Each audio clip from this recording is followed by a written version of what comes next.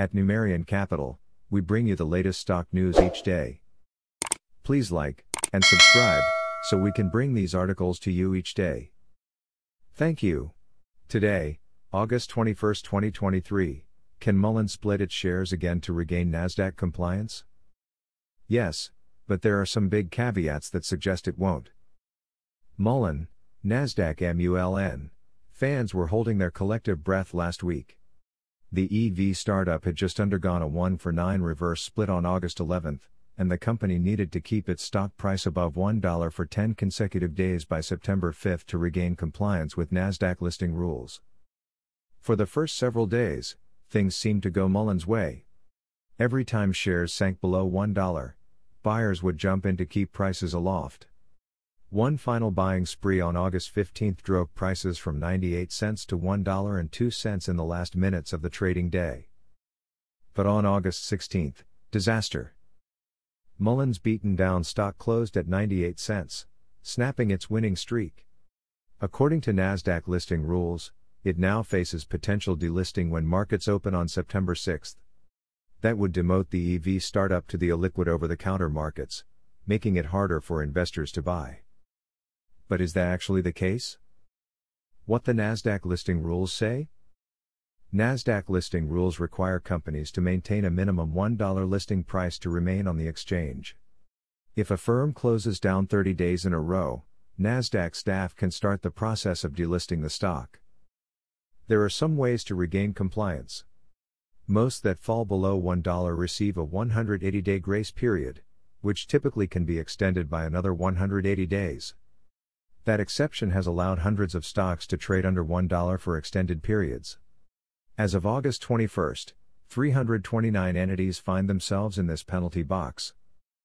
During this period, companies can undergo bouts of self help. Management can increase sales, sell off underperforming businesses, bring in new talent, or decrease costs. An entire industry of turnaround consultants exists to help these fallen stars regain their mojo. Many, like BuzzFeed, drum up short term excitement among retail investors. Other firms decide to sell themselves to the highest bidder, absorb another entity in a backdoor listing, or perform other acts of financial engineering to raise their market capitalization. However, many still fail to raise their shares above $1. Turnarounds are challenging, and none of these feats have worked for Mullen so far. For these laggards, reverse share splits become an option. For instance, if a $500 million firm has 1 billion shares outstanding, each share is worth 50 cents, management could convert 10 old shares into a single new one. All else equal, that reduces shares outstanding to 100 million, driving each share to $5. It's a mathematical trick that pumps up share prices without changing an enterprise's overall value, and one that Mullen used on May 4, 2023 after reverse splitting shares in a 1 for 25 ratio. The 250 for 1 rule. The Nasdaq exchange has some guardrails against excessive reverse stock splits.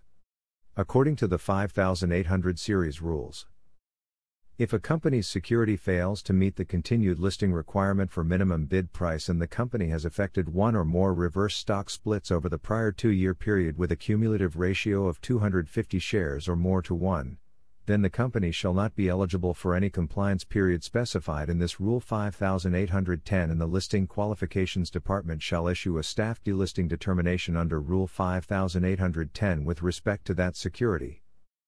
It's likely why Mullen split its shares a second time by only 1 for 9 on August 11. The EV startup had already undergone a 1 for 25 reverse split, so the latest round was the maximum it could have done, to the nearest whole number, without exceeding the 1 for 250 ratio. However, the rule is slightly confusing. According to a call with NASDAQ representatives, companies can reverse split by more than 1 for 250 if they want. The only penalty is that they become ineligible for the 180 day extension window mentioned above. They also become ineligible for any additional reviews since shares receive an immediate staff delisting determination. That means Mullen could reverse split its shares in a 1 for 100 ratio, gain a $60 share price, and remain relatively confident that it will stay above a $1 price target for at least 10 days. Even the most cynical short sellers will realize that Mullen has significant cash reserves that put a floor on stock prices. In this instance, the company will lose its 180 day extension period, but it won't need it since shares have traded above $1 for 10 consecutive days. But the time for that is running out. The 10 consecutive day rule means Mullen must enact a split by August 22 to use this loophole. What's Mullen's plan? Avoiding another stock split suggests two things. First, it tells us that Mullen's management is willing to roll the dice on a NASDAQ appeal. Shares of the EV maker traded above $1 before its 1 for 9 split between May 4 and May 19 this year, a 12 business day period. The company could use that fact to argue that it has regained compliance and that remaining under a 1 for 250 share split affords them the consideration. Second, it appears that Mullen's management is concerned that the NASDAQ compliance team will increase the 10 day compliance period to 20 days or more, a move allowed by Rule IM 5810 2. Here's the text of the rule Staff may, in its discretion, require a company to satisfy the applicable price based requirement for a period in excess of 10 consecutive business days, but generally no more than 20 consecutive business days before determining that the company has demonstrated an ability to maintain long term compliance. Increasing the 10 day rule to 20 days would nullify the period in May where shares traded above a dollar. It would also void any period from now until September 5 that shares trade above $1, even if shares were reverse split again. The EV firm should be worried. It missed its annual report deadline in December 2022 after failing to value its outstanding warrants in time. Mullen has also been sued by multiple shareholder groups, including a suit that has already cost the company $7 million in interim arbitration payments.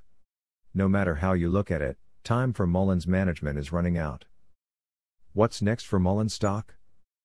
I've long warned investors about investing in Mullen. Weak corporate governance and dilutive share offerings mean that every $100 invested in the stock during its November 2021 reverse merger is worth just 3 cents today. In an alternate universe, Mullen could have succeeded. CEO David Michery is a proven master of raising money from retail investors, and its purchase of electric last mile solutions and Bollinger Motors gave it an enormous head start in manufacturing capabilities. But Mullen failed to capitalize on its advantages. Today, the EV startup is fighting to keep its NASDAQ listing. And even if it holds its position on the main board, its prospects continue to diminish just as its share price has done. Thanks for watching.